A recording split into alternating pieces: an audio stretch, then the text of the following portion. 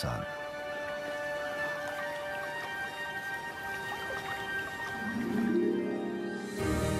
The terns start fishing early. The colony is now a hive of activity.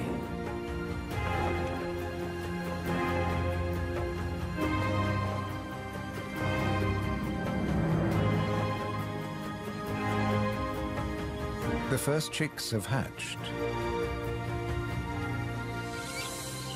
Exhausted from the effort of breaking out of the egg.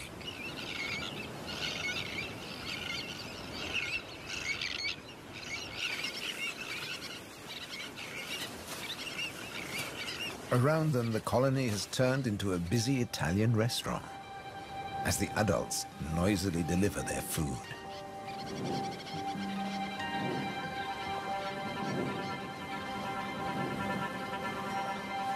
The chicks blend in well with the sand. Their cries for food are a new and insistent sound on the beach.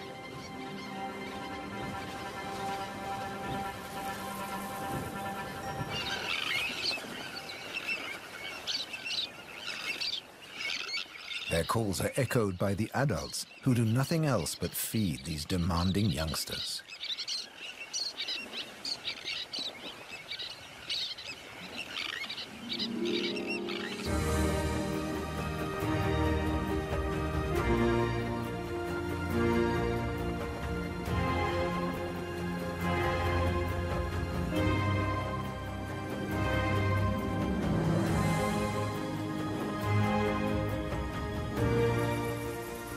And humid, and the lagoon is at its most beautiful. The hot summer months are the quietest for the fishermen. They take advantage of this time to mend their nets. They work and even sleep here with spectacular views of the surrounding wildlife.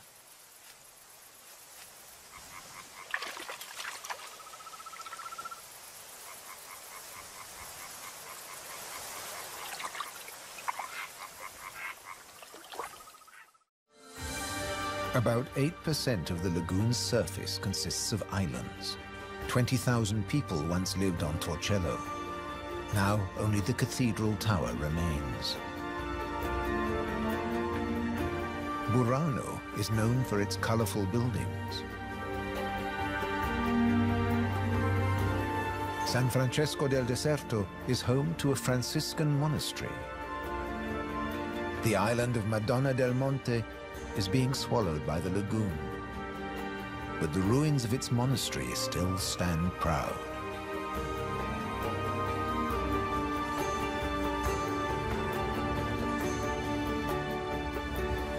Enchanted places like this are an ideal refuge for wild animals.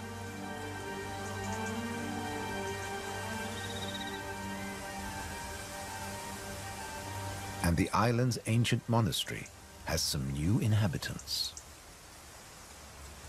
The ruins are the perfect place for kestrels to nest.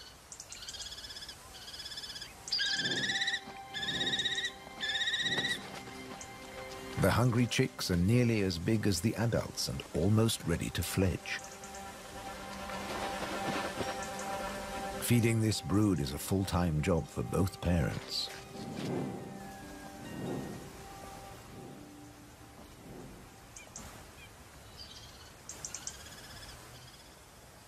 Finally, curiosity gets the better of the young birds and they start to emerge from their hiding place.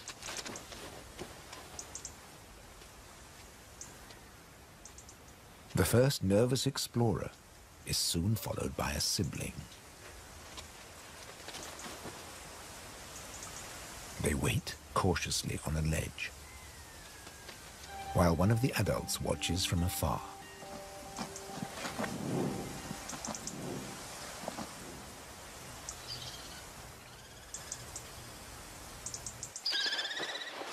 Their mother returns with food, and the young kestrels jostle to get to the front of the queue.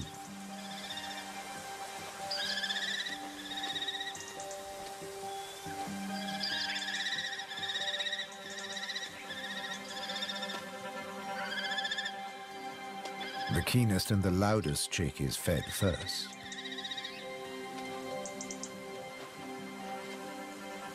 Soon the food parcels will stop. It's almost time for the young to leave the nest and fend for themselves.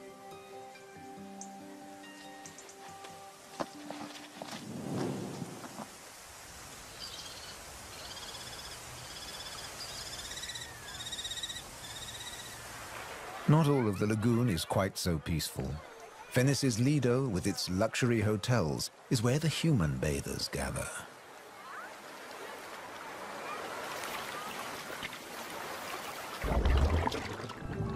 But even here, you can find wild beauty and tranquility.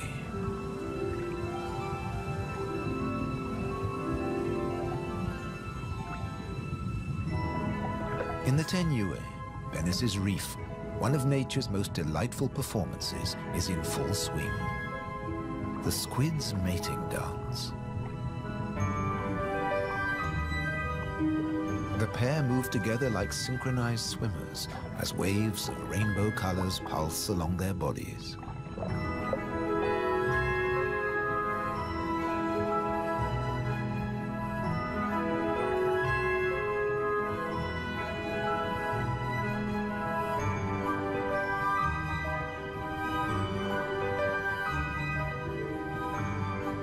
It's like an underwater version of the Venice Carnival. Complete with face masks and disguises.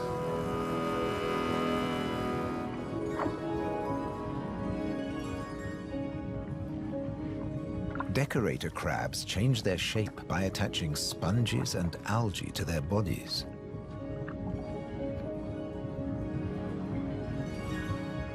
These bizarre disguises are excellent camouflage. The crabs creep past their neighbors and predators like living rocks from the seabed.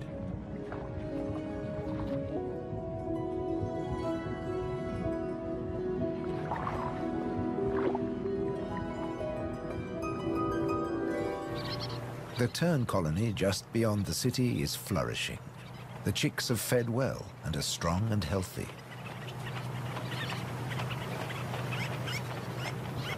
The young birds are gathered in a creche, with one or two adults looking after them all.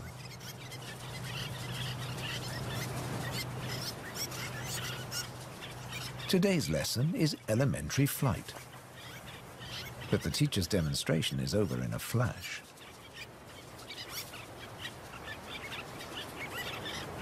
The young birds flap their wings to exercise their growing flight muscles, but they're not ready to take to the air yet.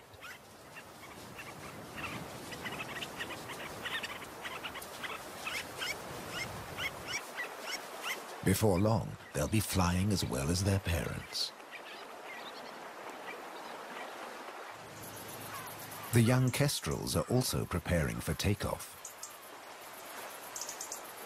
They bravely take the plunge and launch themselves into the air.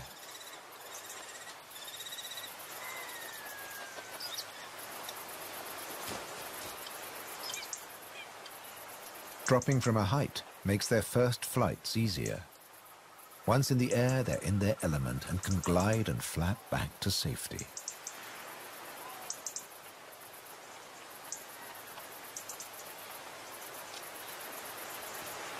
These first flights mark the end of their parental care. Now they have to find their own territory.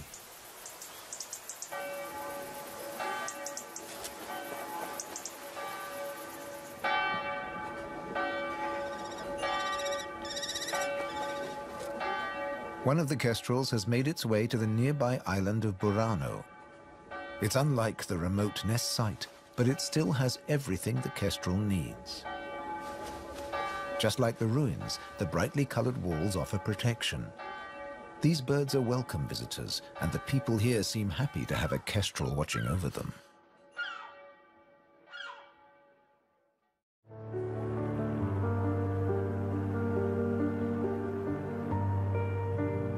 Autumn has arrived, and the wetlands once again change color. A plant called glasswort is responsible for this blush of pink. It flourishes in the swampy salt marshes.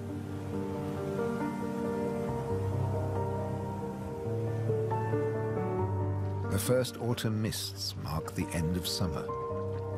The bright, humid days give way to cooler, grayer hues. Sea and the sky seem to merge into each other. Now in September, the sea is generally calm. But from the autumn equinox, there are high tides. And sometimes, Venice floods. For now, the water is still and shimmers like liquid mercury. When the temperature drops, the beaches are finally too cold for tourists. Animals better equipped to bear the chill reclaim them. A hungry fox sniffs along the shore looking for food.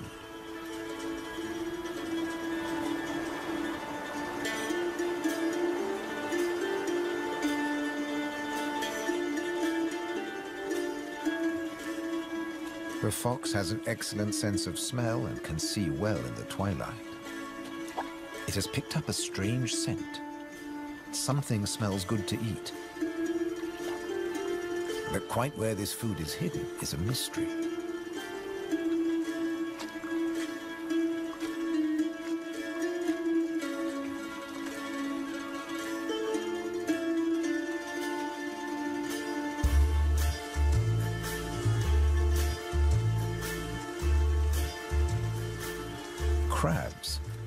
Crossing the beach, leaving behind a number of trails, and the fox is very confused.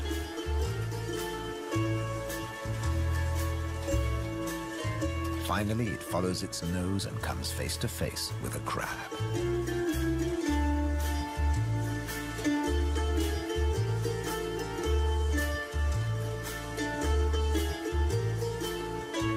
It's an unequal battle, but the crab has the advantage of armor and weapons.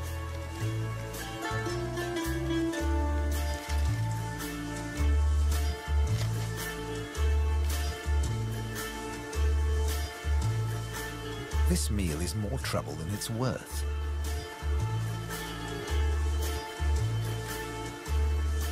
There must be easier pickings. The crab, dazed but victorious, moves off to a more secluded place.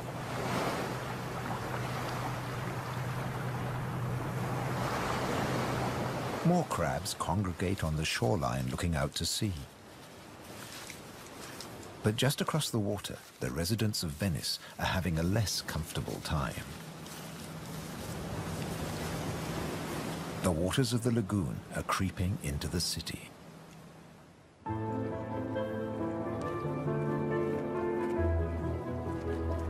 The autumn tides are getting higher, and water is seeping up through every available crack in the stones. The threat of acqua alta, the extreme high tide, is increasing every day.